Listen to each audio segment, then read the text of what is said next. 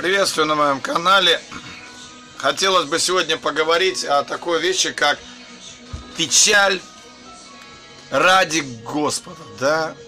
А потому что, ну, говорят про радость, что надо радоваться, и это здорово, когда ты радуешься.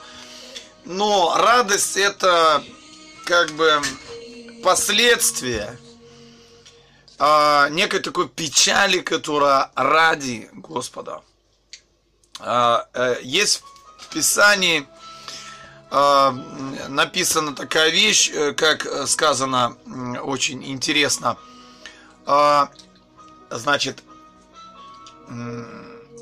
лучше быть в доме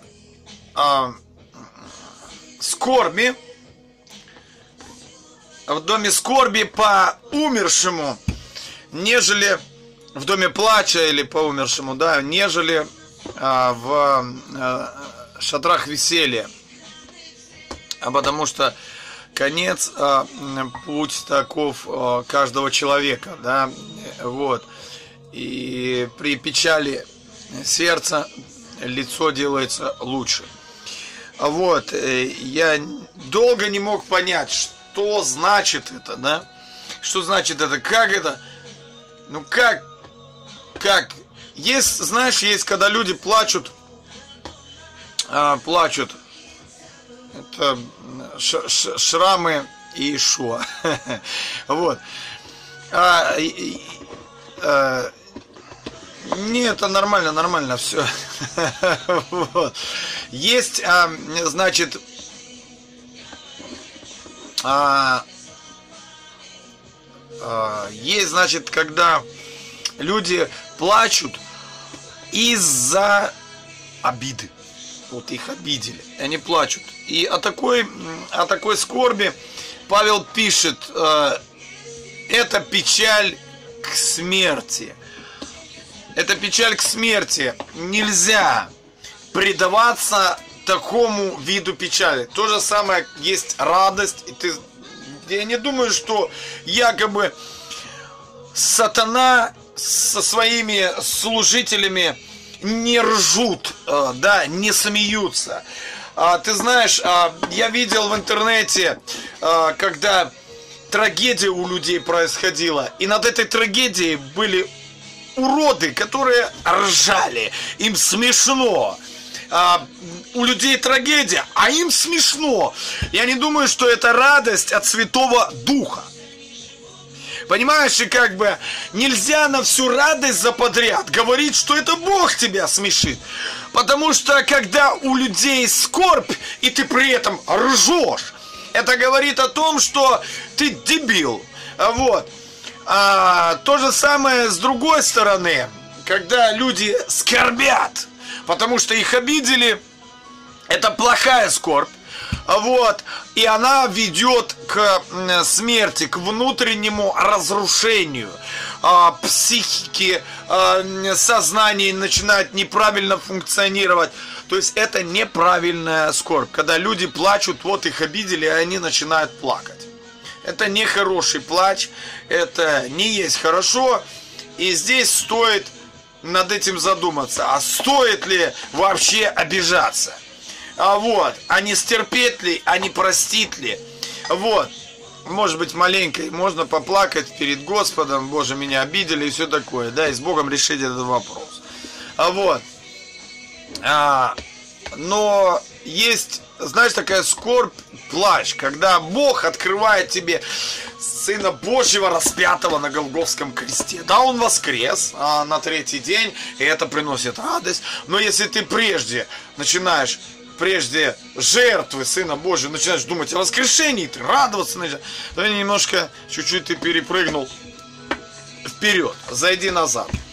Вот, и начни размышлять о жертве Иисуса Христа. И в этом контексте здесь вот это место начинает работать. Лучше жить, лучше быть в доме, плачет по умершему. Что за дом? Это дом Божий, это дети Божьи, которые плачут по умершему, по кому? По Ишуа Хамашеху, который был распят. И когда ты внутренно представляешь перед собой распятого Ишуа, когда тебя, понимаешь, когда ты видишь, что Он взял твой крест. Он взял твой крест, а Он несет твой крест, на нем раны его избили. Это твои раны, это удары, которые были, должны были по тебе быть нанесены. Это удары, которые были по тебе нанесены. Это твоя жизнь, которую он нес на себе, этот крест. И когда ты осознаешь это, жаль сокрушаться и говорить, Бог, какой ты классный! Какая благодарность у меня к тебе, то, что ты понес! Мой крест!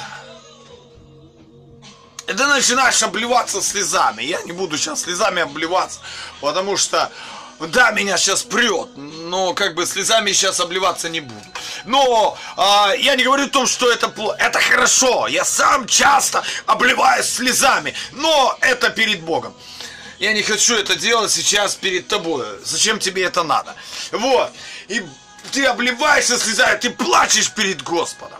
Если в уединении он тебе эти вещи открывает, и ты сокрушаешься, он сокрушает твое сердце. Он говорит, посмотри, посмотри на моего сына, посмотри на Иисуса Христа. Он был распят, и он за тебя распят. И ты сокрушаешься, и ты весь в слезах и соплях. Понимаешь, лучше быть в доме плача по умершему. И он умирает на кресте, и ты все это видишь. И это ты был на кресте. Он срывает с тебя твою ветхую одежду, и он ее возлагает на Ишуа. Лучше быть в доме плача по умершему, нежели в доме веселья.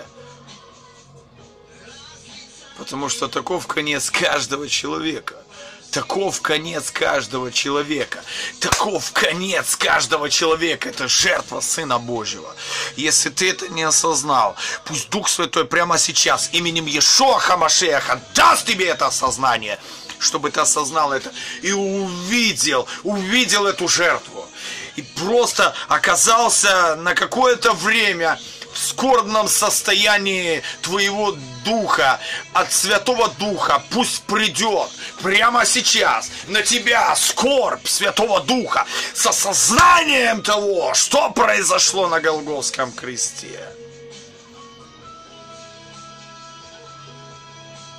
Пусть Он даст тебе это сознание, пусть Он даст тебе это понимание – Пусть Он даст тебе это прочувствовать, увидеть это, увидеть это, увидеть это внутри себя, представить эту картинку, как Он идет по Виа Долороса, как он несет крест, увидеть, что он твой крест несет, не деревянный крест, он крест твоей жизни, твою вину, твою ответственность, твои грехи, твои косяки, он берет на себя, прямо сейчас он берет их на себя, именем Ишуа Хамашех, он берет их на себя, и он несет их.